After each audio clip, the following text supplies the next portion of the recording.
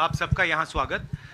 जैसे जयराम रमेश जी ने कहा, चार घंटे हमारी कास्ट सेंसस पे चर्चा हुई, डिस्कशन हुआ और एक ऐतिहासिक निर्णय कांग्रेस वर्किंग कमेटी ने लिया है और यूनानिमसली लिया है। मगर मतलब कमरे में कोई ऐसा व्यक्ति नहीं था जिसने अपना पूरा सपोर्ट कास्ट सेंसस का जो कॉन्सेप्ट है उसको नहीं दिया। तो काफ़ी खुशी की बात है। हमारे यहाँ चीफ मिनिस्टर्स बैठे हैं। हमारे चीफ मिनिस्टर्स ने भी डिसीज़न लिया है कि वो भी राजस्थान में कर्नाटक में छत्तीसगढ़ में हिमाचल में कास्ट सेंसस को आगे बढ़ाएँगे। तो अंग्रेज़ी में बोल दूँ? इंग्लिश में। There's a very big decision taken today by the Congress Working Committee. Um, unanimously, the Working Committee has supported the idea of a caste census uh, in the country. And I think it is a very, very progressive step, a very powerful step for the emancipation of the poor people uh, in our country. Um, we've also uh, our chief ministers are also uh, also believe that it's an important step for them to take. So our states are also considering this and actioning this uh, this step. If you have any questions, हाँ जी सवाल एक minute एक minute एक एक करके संजीव एक minute एक minute एक मिनट एक मिनट प्लीज रुक जाइए हाँ जी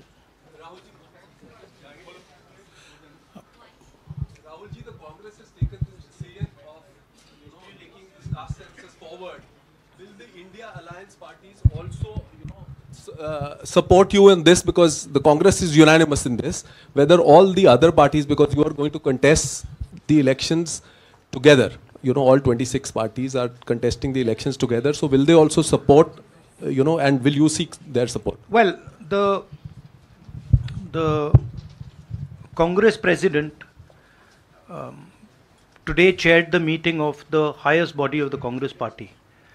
And the entire Congress party has decided that it is going to wholeheartedly not just support the idea of the caste census, but force the BJP to carry out the caste census or then get out of the way so we can carry out the caste census.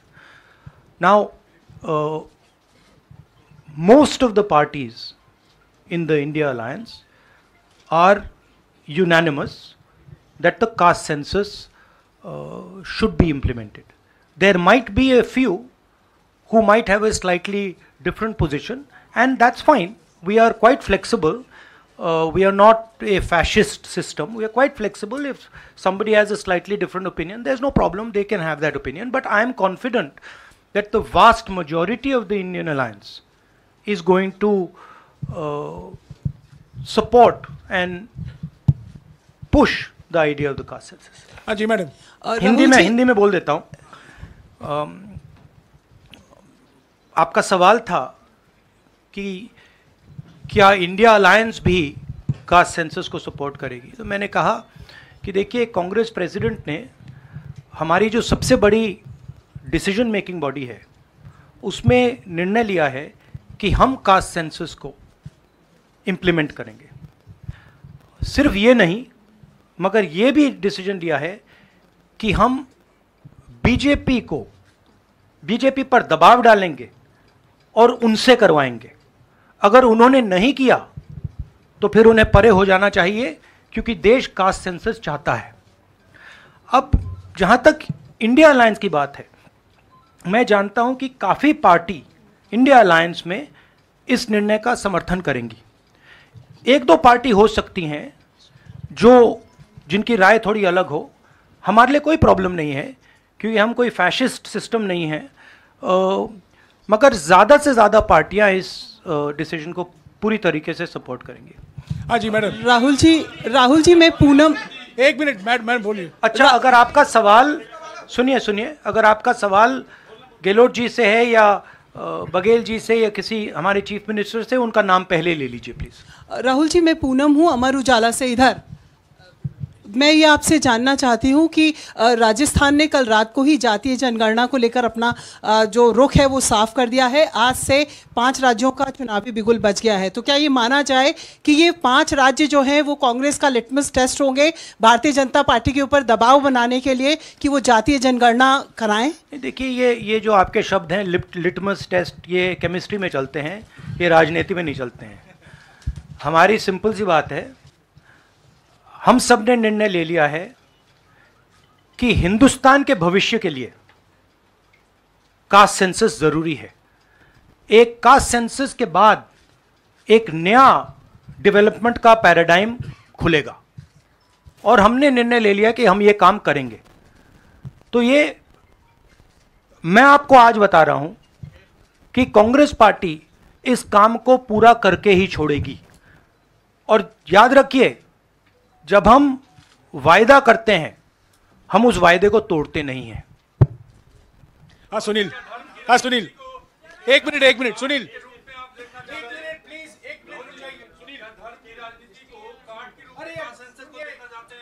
देखिए देखिए नहीं मैं मैं मैं इसका जवाब देता हूँ। देखिए ये कास्ट और धर्म की बात नहीं है। ये गरीबी की बात है। हिंदुस्तान के ओबीसी, हिंदुस्तान के दलित, हिंदुस्तान के आदिवासी और हिंदुस्तान के गरीब लोग, इनके लिए यह काम किया जा रहा है। आज क्या हो रहा है? दो हिंदुस्तान बन रहे हैं। एक अदानी जी वाला और दूसरा सबका। कास्ट सेंसस साफ़ दिखा देगा कि हिंदुस्तान में लोग कितने हैं, कौन हैं, और हम वहाँ नहीं रुकेंगे। उसके बाद इकोनॉमिक सर्वे होगा। तो हमें यह भी पता लग जाएगा कि कितने लोग हैं, धन किसके हाथ में है, धन कहाँ है एसेट्स किसके हाथ में है, और फिर जैसे मैंने कहा, जो एक्सरे हमें, और मैं कहता हूँ शायद इसमें मेरी भी गलती है, जो हमने पहले नहीं किया। उसको अब हम पूरा करके दिखा देंगे। क्योंकि इस एक्सरे की ज़रूरत है अगर हम नया पैराडाइम नया डेवलपमेंट का पैराडाइम चाहते हैं जहाँ सबको न्याय मिले उसके लिए हमें कासेंसस करना ही होगा। Sir you heard the prime minister in Hyderabad you know give his counter to the caste census and about you know the rights and what will happen to southern states and the various things How do you view that? And also for the Karnataka Chief Minister, why doesn't he go ahead with the release of the caste census data? we are we are in discussions. Uh, we are very clear what our direction is. Those actions will be taken. Uh, i'll also let uh, Siddaramaiah ji directly answer your question. So first let me let let me uh, ask him to. You haven't answered that i'll, I'll come back to you. He's asking about caste census in karnataka Our previous government in Karnataka, that is, the government, our Congress government was there between 2013 and 2013 and 2018. normally normally he doesn't need a mic In 2014 and 15, we have entrusted this caste census and socio-economic survey of all communities to Permanent Backward Class Commission, headed by one Kantraj, then chairman of the commission. By the time our term is over, the report was not ready. When coalition government was there in Karnataka after 2018, the caste census report was ready, but the coalition government's chief minister, Mr. Kumar Swamy, did not receive that report. Now the report is laying with the Permanent Backward Class Commission. I requested now the present chairman, Mr. Jayaprakash Hegde, to submit the report to the government. If he submit the report, he will definitely issue the report. With consensus, caste census and socio-economic survey of all communities particularly other backward communities. एक minute एक minute please अरे एक minute रुक जाइए ना जवाब दे रहे हैं जवाब दे रहे हैं राहुल जी जवाब दे रहे हैं on the see the prime minister's yeah the the prime minister is making unconnected statements what the caste census has to do with uh, you know representation of the south is very difficult to understand now the problem is that the prime minister is incapable of doing the caste census. I'd like to point out something quite interesting. There are four, हमारे चार chief ministers हैं चार में से तीन OBC वर्ग के हैं। बीजेपी के दस चीफ मिनिस्टर हैं। एक ओबीसी वर्ग के हैं और वो भी कुछ ही दिन में चीफ मिनिस्टर नहीं रहेंगे। तो बात बहुत होती है ओबीसी की। मगर नरेंद्र मोदी जी को यह बताना है कि ओबीसी के लिए आपने किया क्या? मैंने पार्लियामेंट में उदाहरण दिया कि 90 अफसरों में से तीन अफसर ओबीसी वर्ग के हैं। नरेंद्र मोदी जी ने उसके बारे में कुछ नहीं बोला। उन्होंने यह भी नहीं बोला कि हाँ यह गलत है। उन्होंने बोला, एक शब्द नहीं बोला। मतलब उनके लिए यह एक्सेप्टेबल है कि हिंदुस्तान में जिनकी शायद पचास परसेंट आबादी है अप्रोक्सीमेटली उनका सरकार को चलाने में कोई भी हक ना हो। तो ये तो सच्चाई है रियलिटी है। प्राइम मिनिस्टर सीधा कह दें कि हम कास्ट सेंसस का डेटा रिलीज़ कर देंगे। प्राइम मिनिस्टर सीधा कह दें कि अगला सेंसस कास्ट बेसिस पे होगा। वो कह ही नहीं सकते। क्योंकि प्राइम मिनिस्टर सचमुच में ओबीसी वर्ग के लिए काम नहीं करते हैं। प्राइम मिनिस्टर का काम ओबीसी वर्ग को डिस्ट्रैक्ट करने का ओबीसी वर्ग के ध्यान को इधर उधर करने का है। जो सच्चाई है कि ओबीसी वर्ग, दलित वर्ग, आदिवासी वर्ग को कितनी भागीदारी मिल रही है, उससे डिस्ट्रैक्ट करने का पूरा सिस्टम बना रखा है आरएसएस ने और नरेंद्र मोदी जी ने। और नरेंद्र मोदी जी उनके मेन इंस्ट्रूमेंट है। मतलब सेंट्रल औज़ार हैं, उनका यही काम है कि भैया, ओबीसी की भागीदारी ना हो, ध्यान इधर उधर जाता जाए। हाँ संजय राहुल जी प्राइम मिनिस्टर और बीजेपी का एलिगेशन है कि कांग्रेस कास्ट सेंसस को इसलिए ला रही है, ला के वो हिंदू कम्युनिटी के अंदर डिवीज़न पैदा करना चाह रही है। और ये राजस्थान में उन्होंने रैली में ये बात कही कि ये कास्ट सेंसस का मतलब कांग्रेस का एडवोकेसी का, राहुल गांधी का एडवोकेसी का यही लक्ष्य है। हमारा हमारा लक्ष्य, जैसे मैंने कहा, हमारा लक्ष्य है कि एक्सरे होना चाहिए। किसी को चोट लगती है अस्पताल में पहला काम होता है भैया, देखिए, एक्सरे कराते हैं, पता लगाते हैं क्या है, सच्चाई क्या है। हमें लग रहा है कि हिंदुस्तान में जो भागीदारी ओबीसी की होनी चाहिए, दलितों को होनी, की होनी चाहिए, आदिवासियों की होनी चाहिए, हमें लगता है कि वो उनको नहीं मिल रही है। सस्पिशन है। अब हम सिर्फ़ ये कर रहे हैं कि हम एक्सरे कराना चाह रहे हैं, देखना चाह रहे हैं कि क्या ये सच्चाई है इसमें या नहीं। नरेंद्र मोदी एक्सरे कराने से क्यों डर रहे हैं? इसमें लोगों को बांटने की बात नहीं है। इसमें जो हक लोगों का है, उनको देने का है, देने की बात है। अब मुझे यह बात समझ नहीं आ रही कि हिंदुस्तान के जो प्रधानमंत्री हैं, एक्सरे क्यों नहीं करा रहे हैं? एक्सरे करने से क्यों डर रहे हैं? और जहाँ भी जा रहे हैं आप नोटिस कीजिए।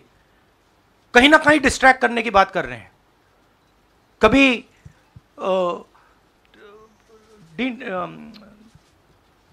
डिलिमिटेशन की बात कर रहे हैं। कभी कुछ और बात कर रहे हैं। कभी साउथ इंडिया की बात कर रहे हैं। मगर एक भाषण में नरेंद्र मोदी जी ने ये नहीं कहा कि देखिए, जो राहुल गांधी ने कहा है, नब्बे अफसर जो हिंदुस्तान को चलाते हैं, उसमें से तीन लोग सिर्फ़ ओबीसी वर्ग के हैं, ये सच्चाई है, ये सच्चाई बीजेपी ने एक्सेप्ट की है। और उनको सिर्फ़ पाँच परसेंट बजट पर कंट्रोल है। यह प्रधानमंत्री अपने भाषण में नहीं बोल पा रहे हैं। क्यों? क्योंकि उनका लक्ष्य कुछ और है। उनका लक्ष्य डिस्ट्रैक्शन का है। और आप देखना डिस्ट्रैक्शन करने के बहुत और तरीके निकालेंगे। आने वाले समय में एक के बाद एक एक के बाद एक एक के बाद एक डिस्ट्रैक्शन करने के तरीके दिखेंगे आपको। राहुल जी एक दो सवाल और ले सकते हाँ हैं जी। हाँ हाँ मौसमी राहुल जी ये पूछना चाह रहे थे कि जिस राहुल जी ये पूछना चाह रहे थे कि जिस तरह से प्रधानमंत्री नरेंद्र मोदी कह रहे हैं कहा जा रहा है कि कांग्रेस के लिए ये बहुत ज़्यादा नुकसानदेह होगा क्योंकि जो बची कुची अगड़ी जाति कांग्रेस के साथ है वो चिटक जाएँगी तो पॉलिटिकली आपको लगता है कि ये कांग्रेस के लिए नुकसान वाला सौदा ये है? ये हमारा पॉलिटिकल डिसीज़न नहीं है ये न्याय का डिसीज़न है। ये हिस्सेदारी का डिसीज़न है। इसमें कोई पॉलिटिकल कैलकुलेशन नहीं है। हम हिंदुस्तान का जो मैस है, जो 50 60 70 80 परसेंट हिंदुस्तान की जो आबादी है, उसकी हिस्सेदारी की बात कर रहे हैं। और वो हिस्सेदारी देकर ही हम रहेंगे। ये हमने निर्णय ले लिया है। आप देख लेना, जैसे मैंने कोविड के बारे में बोला था चाइना के बारे में बोला था मैं बोल रहा हूँ। कास्ट सेंसस होगा। और हिंदुस्तान के गरीबों की जो हिस्सेदारी बनती है, वो उनको मिलेगी और वो काम कांग्रेस करके दिखाएगी। जी। राहुल जी, आपने कास्ट सेंसस के बाद इकोनॉमिक सर्वे की बात कही है, वो क्या इकोनॉमिक सर्वे स्टेट में भी होगा क्या? कांग्रेस रूल स्टेट में, एक चीज़। और दूसरा, आपने पार्लियामेंट में कहा था कि आपके पास जो कास्ट सेंसस का डेटा है, वो आप अनाउंस करेंगे, अगर सरकार नहीं करती है तो। नहीं तो मैंने ये नहीं बोला? देखिए देखिए हमारे पास कास्ट सेंसस का डेटा नहीं है क्योंकि कास्ट सेंसस का डेटा हिंदुस्तान की सरकार के पास है। तो ये ये मैंने कभी नहीं बोला है। मैंने ये बोला कि हिंदुस्तान की सरकार के पास कास्ट सेंसस का डेटा है हिंदुस्तान की सरकार को उस डेटा को रिलीज़ कर देना चाहिए और अगर हिंदुस्तान की सरकार उस डेटा को नहीं रिलीज़ करेगी तो जब हमारी सरकार आएगी पहले दिन हम उस डेटा को रिलीज़ कर देंगे। हाँ रवि। सवाल आपने जो इकोनॉमिक सर्वे की बात की देखिए, सवाल क्या है? सवाल यह है, पहला सवाल, जो कास्ट सेंसस से क्लियर हो जाएगा, इस देश में कितनी आबादी किसकी है? ओबीसी की कितनी है? दलितों की कितनी है? आदिवासियों की कितनी है? बाकी लोगों की कितनी है? पहला सवाल। दूसरा सवाल, देश का जो धन है देश के जो एसेट्स हैं, क्या वो इन लोगों के हाथ में भी हैं या नहीं? देश के एसेट्स में ओबीसी की कितनी हिस्सेदारी है? दलितों की कितनी हिस्सेदारी है? आदिवासियों की कितनी हिस्सेदारी है? देश के इंस्टीट्यूशंस में आदिवासी कितने? ओबीसी कितने? दलित कितने? मैं आपसे पूछ लेता हूँ इस कमरे में। इस कमरे में दलित कितने हैं? देखिए, ये मज़ा देखिए। इस कमरे में ओबीसी कितने हैं? हाथ उठा के दिखा दीजिए। देखिए मज़ा। नहीं, वो आप कैमरा मैन है भैया। आपकी बात नहीं कर रहा हूँ। मैं इनकी बात कर रहा हूँ। तो ये सवाल है, हिंदुस्तान के इंस्टीट्यूशंस में ओबीसी कितने, दलित कितने, आदिवासी कितने? ये सवाल हम पूछ रहे हैं।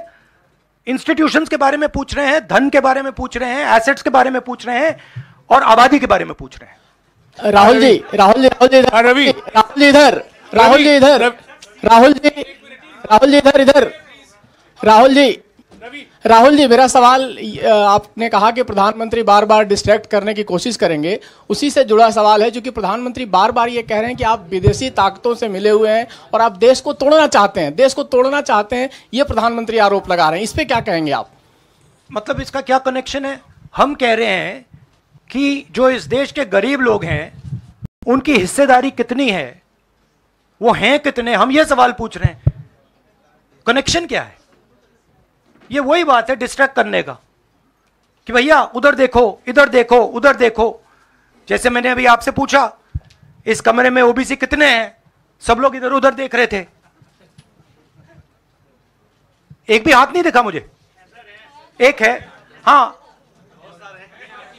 भैया मेन ये है। ये मेन है यहाँ पे। यहाँ पे ना एक आदिवासी है, ना एक दलित है, ना एक ओबीसी है तो सवाल उठता है।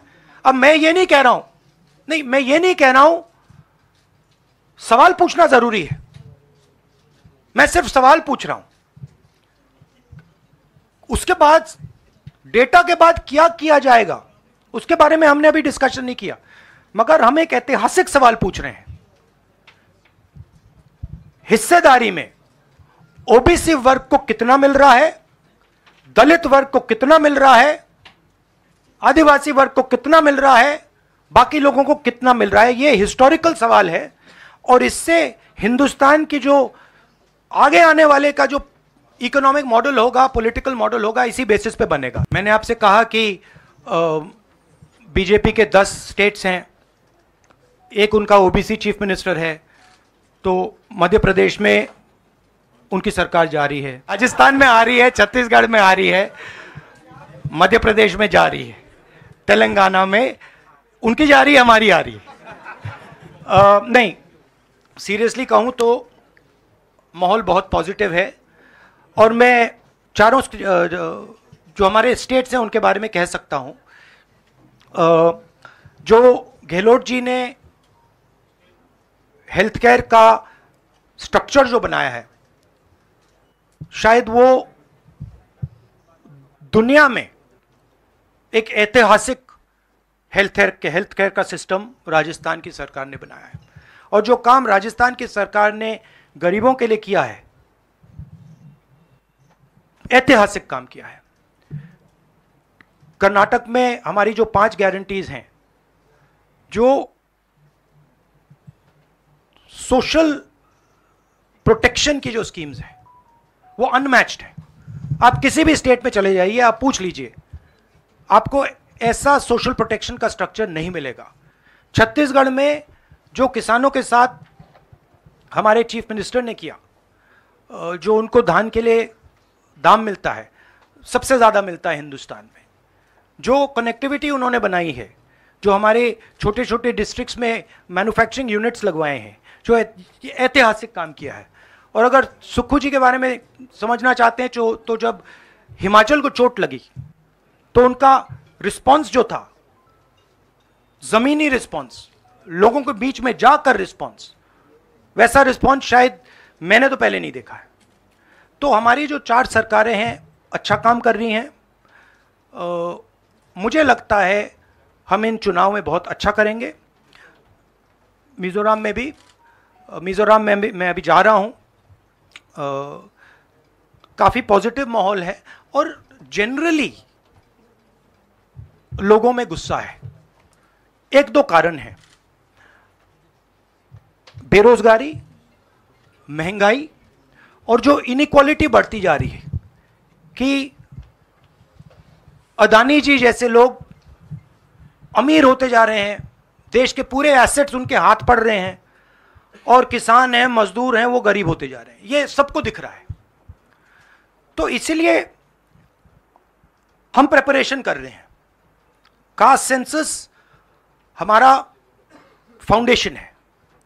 मगर जो राजस्थान में इन्होंने हेल्थ केयर के लिए किया, वो हम नेशनल लेवल पे करने की सोच रहे हैं। जो किसानों के लिए ये कर रहे हैं, जो इनका सोशल सिक्योरिटी का स्ट्रक्चर है, वो हम इसको नेशनल लेवल पे इंप्लीमेंट करने की प्लानिंग कर रहे हैं।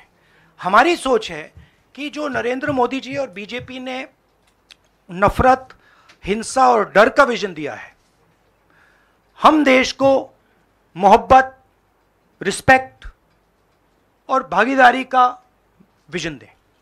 और मुझे लग रहा है कि